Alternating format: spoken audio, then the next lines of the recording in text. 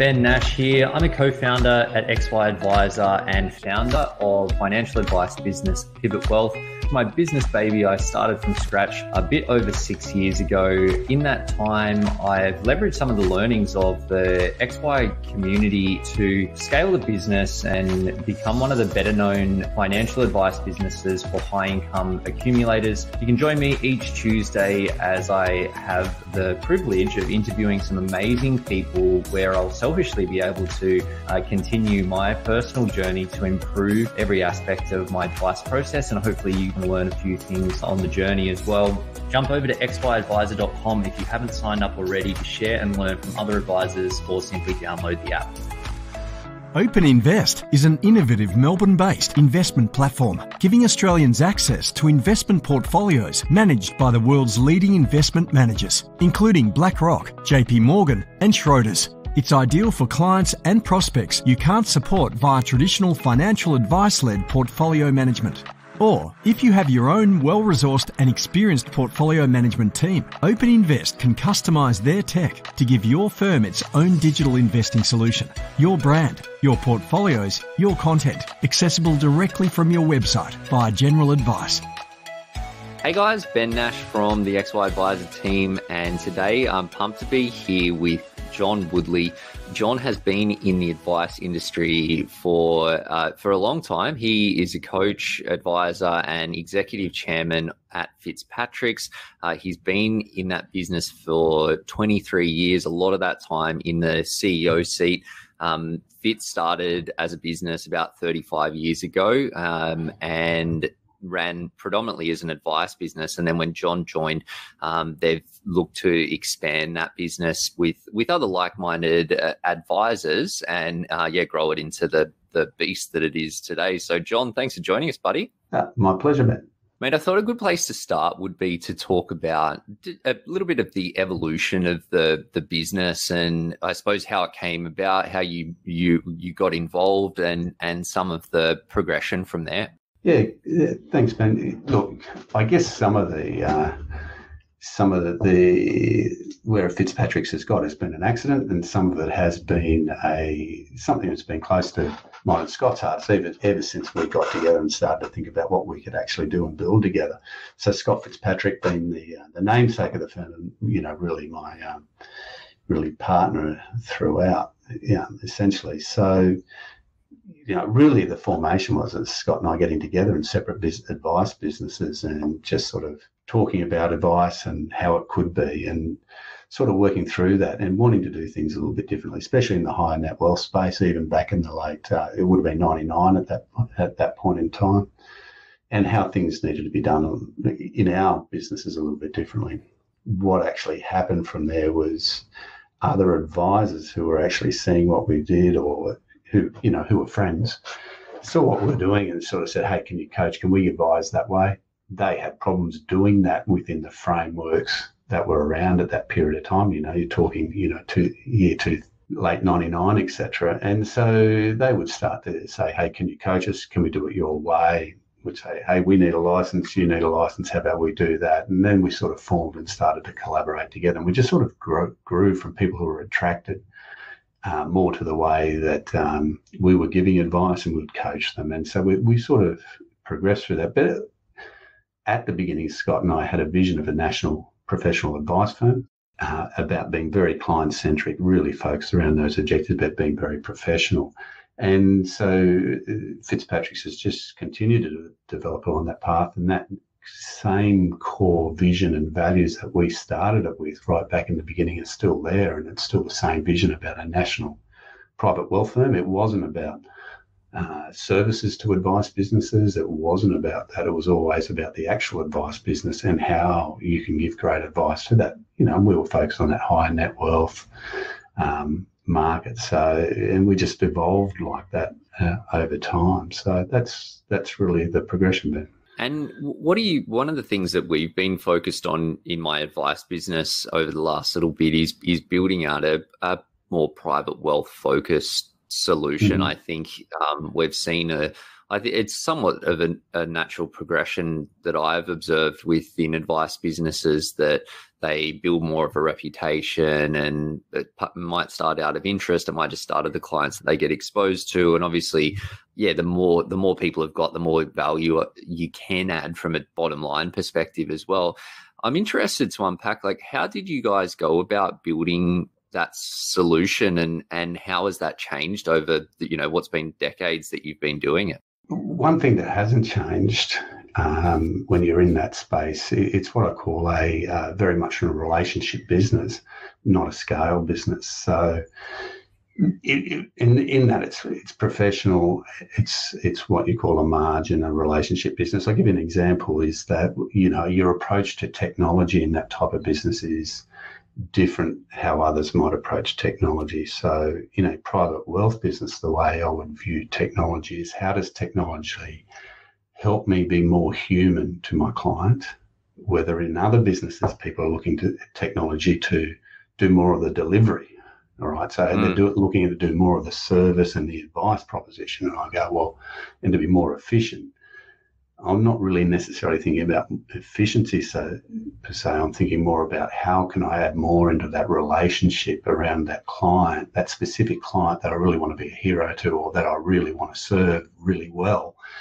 And then that anchors all of my strategy around how I grow businesses. I'm having to look at that client and going, hey, what do they really need?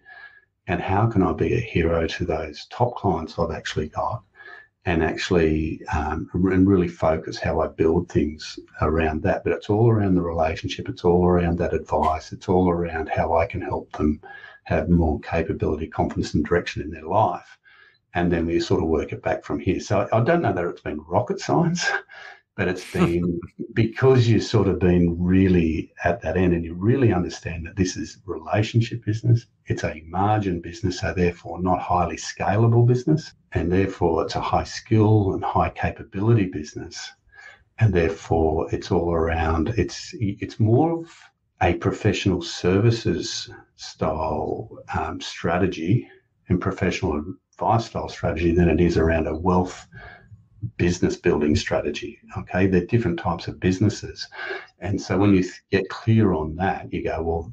And, and if as a business I want to be in that business, which is very different, well then your delivery of services, the way you turn up, um, how you engage is differently to a general wealth business.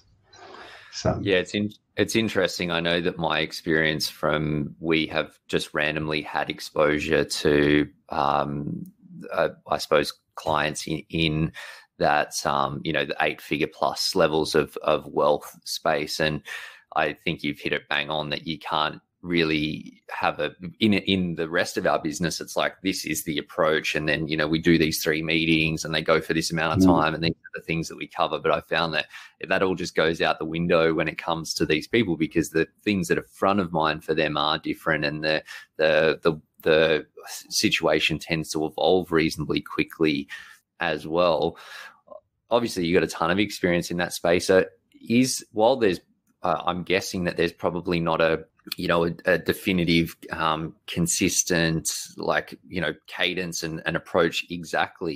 Is there a is there a standard sort of yeah I suppose, process that you would take people through or approach that you would take to to onboarding a client like that? Asking you more with your advisor hat on now. Oh, uh, yeah, yeah, I, I think so. I think that's really important, um, especially you know, especially around uh, really good professional firms. They they have a way about going doing it. You know, you have a look at any national respectable professional firm called the Deloitte, etc. They have a way about going, how they turn up, how they interact. And I, I do think that's consistent. And, and like in that first time you are engaging with people, it's what are you engaging around?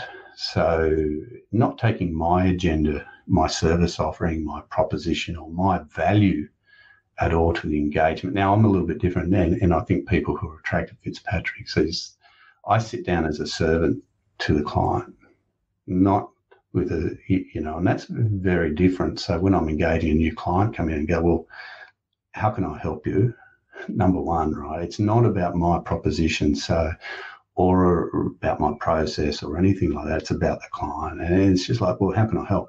Am I And that's a professional engagement. You think about when you go and see a lawyer or accountant, you sit down and they sit down with a blank piece of paper and go, How can I help? They don't sit, sit down there with a, a service offering or anything like that to offer you. Mm. They said, you know, that it's a professional engagement. And I think that's the important thing to sit down there and be confident, hey, I'm going to serve you. And if I can't, through my network, I'll be able to connect you. And that's great. So, and then it's really, um, for me, in that initial engagement, really having a, a, a framework, a great um, skill set, and actually asking the questions and really staying with that and not trying to solve anything and actually understand. And in our world, in our professions, really, at the answer is answering that one, that really one question, which is where you, you know what are you trying to achieve and can we help you get there with the minimum amount of risk? I mean, that's the real question is in that process, having a good framework where you stay and really understanding what the client is really needing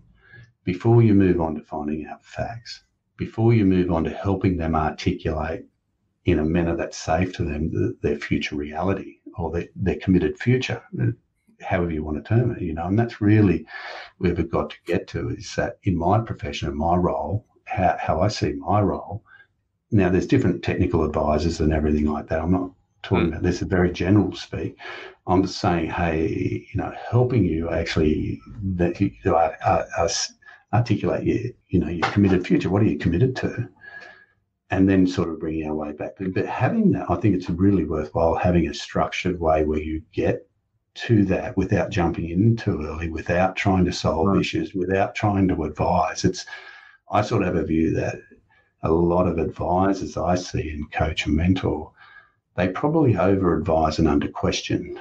And so staying in that question mode as long as we can and helping the client feel really comfortable that, you know, in all the time I've been advising, there's only been really one person who's really been financially well organised, according to their according to their committed future. And it was a lawyer from, um, I think it was Goondiwindi, right?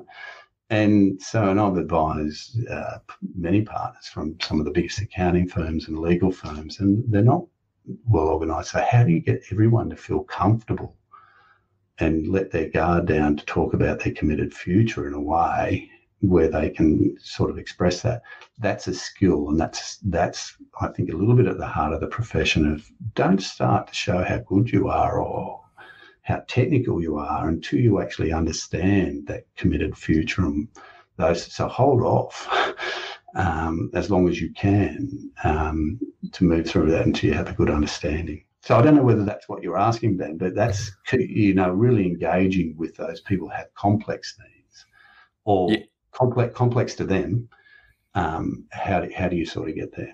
Yeah, look, I think it's interesting that that's it's one thing that is um, consistent with, I think, high net wealth clients uh, or private wealth clients or whatever label you want to put on that. And um, like all regular sort of retail clients or non high net wealth clients, mm. to say it that way, that that does very much ring true. I think particularly important given the level of complexity with the more stuff going on and more dollars to deal with. However, I think that for people, anyone that's in a, a reasonable financial position, which is, you know, almost um, now with all of the changes in advice, is almost the only people that can afford financial yeah. advice. So the people that advisors are talking to, that there's a lot of different ways to be right, and the best the best decisions for them typically come down to like you know what's important to them how do they want their lives to to move like how do they want them to progress over time what how do they feel about different levels of risk so they, i think it is natural that we want to help people that's what a lot of advisors that they they come into this game or stay in this game because because they do love to help people and it is really easy to jump into that solutions mode mm. but um, yeah i think very very true to to ask more questions um, and and listen first. And I think people take a lot of that out out of that in itself. But, but obviously, that places us better to support uh, clients better as well. Look, I am keen to talk about some of the insights that you see from obviously you see inside a lot of advice businesses through the work that you do at Fitz. But I do have one last question just on the high net wealth space um, mm-hmm. before we get there. What if for, for advisors that are listening in that that m- might be keen to move more into this space or create a solution for um, the bigger end of town? What would be the top three things that you say, that you think that they should be you know thinking about or do to give themselves the best chances of success there? Well, number one is probably realise um, uh, the the value that our profession actually has, right? And, and, really actually contemplate and actually understand that. So, a lot of advisors, I, I think, um, can package up over time in businesses, um, you're, talking about the people who might need advice or take advice from you, and not not just a lot of people have it sorted, right? So, but the people, you know, where I'd sort of start with is really actually understand the utility of um, advice done well. Okay, it has a real community value, and when people really understand that, hey, what I do if I do it well has a huge impact on the community through you know helping people leave those more enriched lives. So I think that's number one at the heart of it is actually understanding the value that a, a truly equipped and capable advisor can actually make. And that it's not a second rate profession, and that there's huge opportunities there for, to do that and do it professionally, and that they can and that they can be proud about that. That's that's probably one. Actually, understanding the client. If you want to be a profession, it's a um, it's a profession, right? So you're you're it's a, it's about the art of the profession and the love for it and the difference that it actually makes.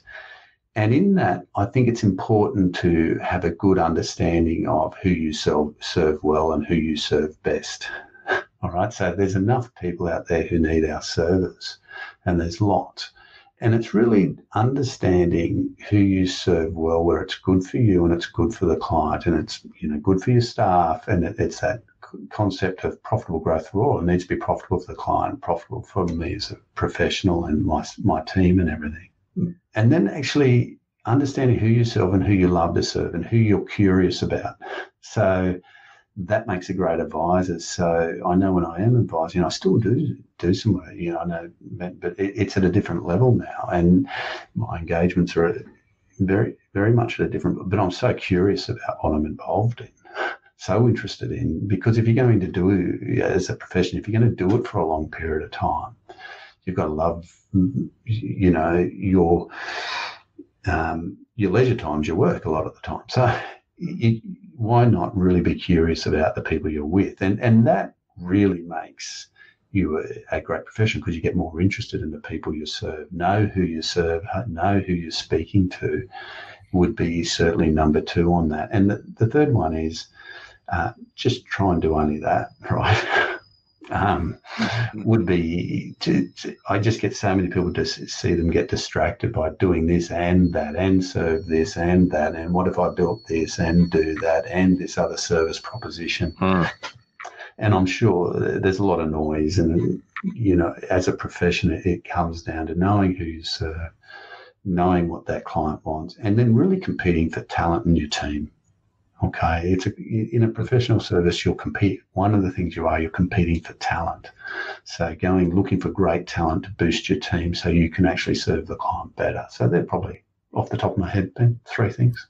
I love it, and um, I uh, talking of talent, I I think obviously as a, a, business where you're working essentially as like a coach and you're partnering with advice businesses and mm. running licensee services as well you guys end up uh, and you you know grown considerably since the mm. since the time that you joined that i know that it's not the same in terms of um, you know it's not the same as an advisor employing someone directly in an advice business but i think fitzpatrick Fitzpatrick's as a business, you're known for the the quality of the advisors and the businesses that you do mm. work with and, and, partner with. So I'm interested to hear someone that's hiring myself, and I've I've been you know massively trying to upskill in this space and and figuring out how do you find the right people, onboard them well, all of those things.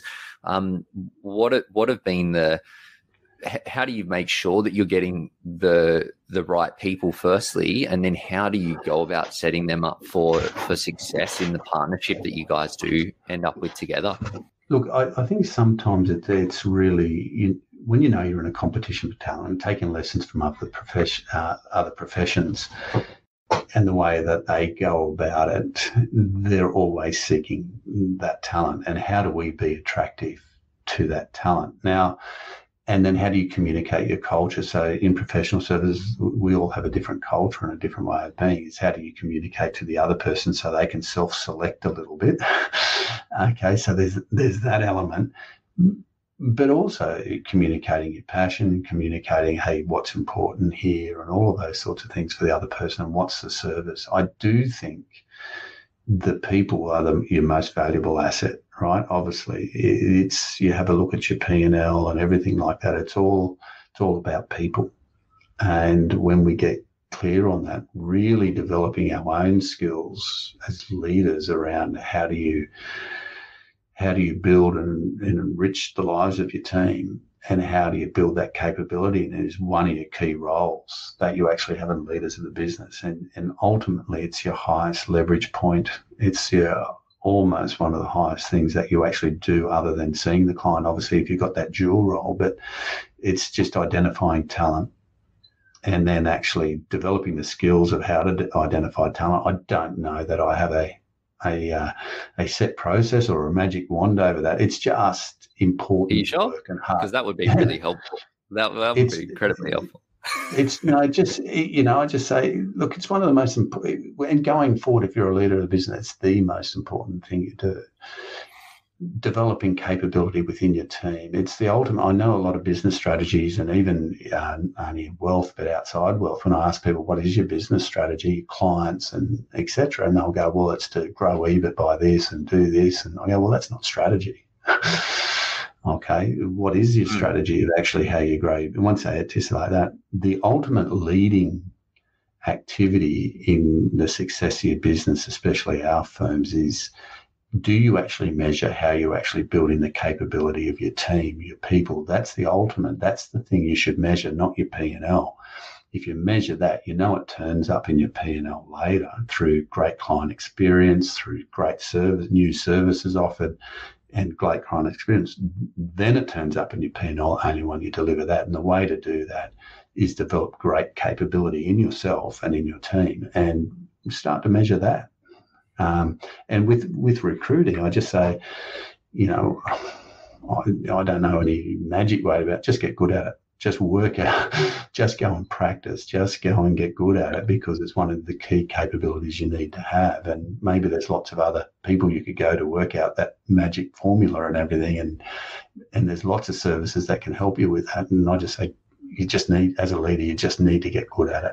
Absolutely, yeah. I think you've got to build that muscle, and I th- I would say that it's probably even for advise like i know at the moment I, my time is is a bit split between growing the business and and still supporting some clients but i um I, I don't take the client work that we do lightly, but I, I think the team building is probably the most important thing because the yeah. more I can support the team, the better that they can support clients. And um, as you say, yeah, it drives that growth. I know that you guys do, you know, with the advisors in your network, that a, a, big thing that you do is help them to to grow and support the growth of, of their business. And you mentioned there that building capabilities within their team are, um, you know, is a key driver or a leading indicator of that. How how should people go about tackling that, or other others within their businesses, or what are the what are the key key things to be aware of? How they go about developing their people. Is that what the question was? Ben? Yeah, building capability within their teams is there. I suppose it is yeah. somewhat different depending on every business and individual. But are there, you know, is there is there an approach that you found works better than others there? Yeah, uh, certainly. Uh, for the leader of the business to commit themselves to their own leadership development, number one. Okay, their their own ability to actually do that within their team, that would be where I'd start. You know, I know quite regularly at the beginning of every year. So I have a routine in my diary where I lock away for the year all my thinking time or strategy time throughout the year. You know, it's so many days at the beginning of the year, so many days a month, so many hours a week. I'll lock that away so I, I can have thinking time. But I know every year when I turn up to my January thinking time that I get little bit upset because I go, oh, damn, I've got to ante up again and change again myself. I've got to improve again myself because I actually know that um, if I focus on that and I have a passion for that, the people oh, like attracts like is that the people around will have a passion for learning and a passion for curiosity and, and those sorts of things. So, and then just to sort of speak about it, give people opportunities. So, you know, I always sort performance reviews when I was doing them, I would never see performance review as the, the review of my team. I would see a performance review of how well am I serving and the business serving you to be the best that you can be. So let's actually have a talk about how you can be the best you can be and let's let you review me in that light as a leader and the business as a leader how, how are we helping you be the best you can be as a, as a as an advisor or, or a member of the team? Now then let's just flip that around and have an honest conversation about what can you do to be the best you can be and where can we actually sponsor your improvement and have a lovely honest conversation about it and not get caught up too much in the noise that can surround these things because really the context of it is, is how can we both help one another so I love it. Start start from the top, lead by example, and and filter it yeah. through. I think yeah makes yeah. makes a lot of sense. John, you guys obviously see inside a lot of advice businesses through the through the you know the work that you you're doing. Yeah. Um, what what have you found makes the biggest difference to those that do really well and those that don't? Yeah, a couple of things is um, less is more it, it really comes down to that less is more. Uh, so, really understanding who you serve well, uh, restrict the amount of people you're going to serve a lot of the times. Okay, so you can serve them mm. well and, and, sort of grow through that. Don't get caught up into the bigger and more is better. So, know who you serve, know your positioning, know who you're speaking to so that you speak to them well and you serve those people well that cuts out a whole lot of noise and inefficiencies in these businesses. You stop doing getting distracted by new widgets come out, new technology that comes out, all of these other sorts of things. And because if you're in the higher net wealth space and you want to be in the professional business, it's a low people business, it's a margin style business. The impact you know, as I said, well, I'm not sure my huge technology needs if I've only got 30 clients. Okay. I'm not mm. sure what that. I'm not sure it's a real scale piece, and, and so. But I don't say that it, it has application and it has huge application, but it's the mindset around what's important and doing less is more. Knowing who you speak to, I like the idea of restricting how many people who you are going to serve, and it's not an endless piece. And it's not an endless. Um, show there's not endless tickets. Because that actually means that you really value the people you bring on board as clients or even as team members and you just put a lot more effort into making sure they're a great fit because you don't have endless seats for that. And so you're making therefore you're having a really honest engagement with clients, especially, is, is it good for you and is this good for me? And then can I add value and can you add value and the expectations around that? And we're, we're really looking at that this is an investment of time, not just what I can get or what fee I can get. So that's it, less is more would be I spend a lot of time with people just saying, hey, come on, let's just actually just focus on what you can do really well and uniquely let's get clear on that. Then let's actually build around your positioning around that and, and how can you communicate in that in a way to the people who are going to hear that and get permission to speak to them. And then you can actually start to build out from there. And then there's a whole lot of stuff you don't do. Like I've never done seminars. I've never done all of these other marketing activities because I know my clients will come through current clients and through my yeah, through my close relationships that I actually have with other professionals, and that's where they come from. So I don't need all I need to do is serve those professionals well, and I need to serve that well. So I don't need to do a whole lot else. Yeah, I think that sometimes um, advisors and business owners, you can feel pressure that so there's a lot of noise out there, and people are saying, "Oh, you should be doing," you know, whether it's seminars or on, yeah. you know, Facebook or any number of things, and I think that you've got to find where the people that you want to talk to are, and or like where do you intend yeah. to get your people from, and then build your strategy around that, or, as opposed to trying to think that you need to replicate what um, yeah. what someone someone else is doing. It's a good point, Ben. It's different different marketplace, different people, different advisors. But you're exactly right. You probably articulated that better than I could, which is really knowing knowing where they are and being able to speak to them. Uh, I think that saves a, a lot of time and inefficiencies in business and not getting distracted by all the new widgets and ideas and things out there. Mm. It seems to be that, that there's a lot of that.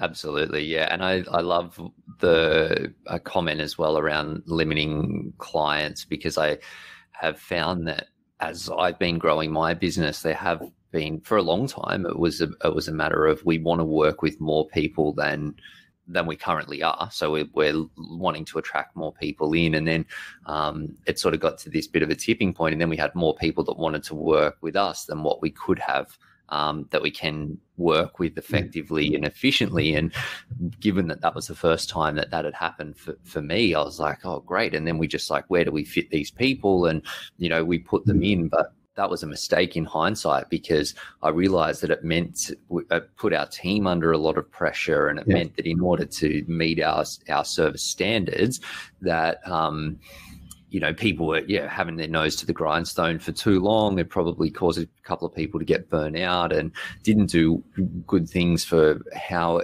our, our ability to focus on other things in the business that was going to set us up to support our clients better in the future. And yeah. I think that turned into an issue. And then I said, well, okay, well, what is, let's figure out what our capacity is. And then we go, okay, well, we can deliver, you know, this number of new clients, this number of yeah. reviews.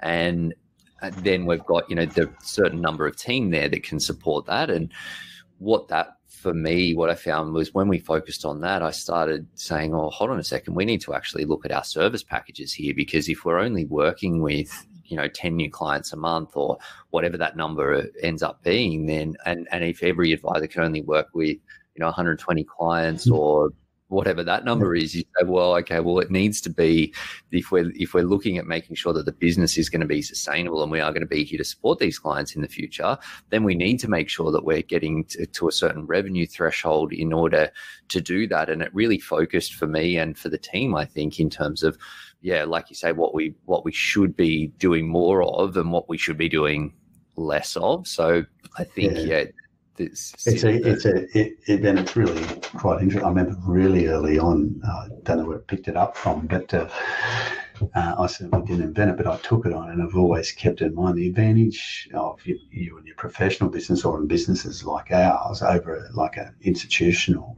business. Um, is it sort of comes down to is the process for innovation and meeting client needs, which is what innovation's about a lot of the time. So, mm and I, I love that thing. Well, if you want to know what you should build, go and ask it. Go and ask the client for the check.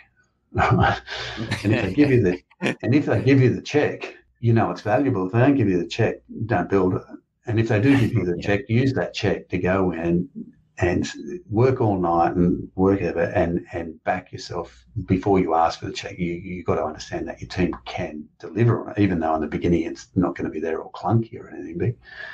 But what you do is know how you can then build your business around that. You know what you're doing is meeting your client needs. So therefore it's worth the investment of time. So often I see businesses come up with these beautifully designed packages and etc. And I they go, this is a great service. We're going to deliver this, we're going to deliver that, and I'm going to deliver this. And I know when I'd ask the client, do you value that? And they go, no. Hmm. No, no. Can you can you can you actually file that lovely little review package that you can? Can you put that on? You know, that's how to me. Can you actually put that in my drawer here? I'm not taking it home. Yeah, yeah. You know, go, oh, so, so, asking the client really what they value and having that conversation. What, what's the matter with us? Is asking the client directly. Hey, this is what I'm thinking. Would you pay for that? Mm.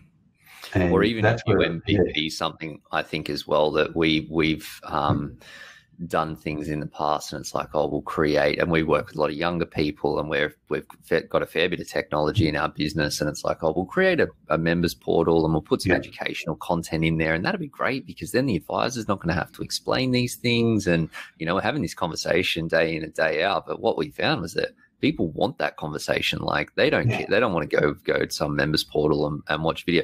For in you know in certain circumstances, I know that that does work for some people and and some businesses and some clients, but for us it didn't. So it's like we launched the thing, but then we looked at the stats and said, well, okay, this is not effective, so let's not not put the energy there. So sometimes I think I think that that if you can get them to cut the check first, or if you want to try something, make sure that you keep in mind that you could you want to be able to measure who's actually using it and how much are they using it so that you can see is it worth resourcing or with time, money, or team. Um, and, it, and I think in the professional, you know, is go through. I, one of the things I keep coming back with the, the, the clients that you're wanting to advise to, to one of the, lots of things that they're looking for. But one of the key things they're looking for is they want to know how to think about all of their problems they don't necessarily want you to do their thinking for them or provide the information for it or anything like that. They actually what they they want them they want to have the capability themselves to have more so that they can work out hey how can I improve the direction of my life? and How can I have more capability and more confidence? But it's their capability, not our capability. So, you know, we, are sort of thinking about you know, those conversations you're talking about with these clients. What's actually going on is they're learning how to think about these things. So when they go away, they're more equipped between when they catch up. So my goal's always been how do I make them less dependent on me? not more dependent on me, having to ask me the questions, having to ask me the come back to me all the time. My thing is, how do I mm. equip you, and how how can I help you think about this more, so that you're you're more capable to create a bigger future for yourself without necessarily being dependent on me. But we can, mm. you know, and then the relationships based around that, um, you know, growing those bigger futures together. So. You know, how do I actually connect with them and have more of those conversations, essential conversations with the client rather than more stuff? You know, I don't mm. know that they need more stuff. I love that. And I think it does help the client to ultimately build more confidence in what they're doing because at the end of the day, I think they still want to know that what they're doing is the right thing. So if they can think better about their problems or know how they should be thinking about them, then that's great. But it doesn't. I think that there's sometimes there's a fear that does that mean that then the the they're not going to need us or want our support. But I think that when but, it's but, but how, how, how good would it be if they didn't, right?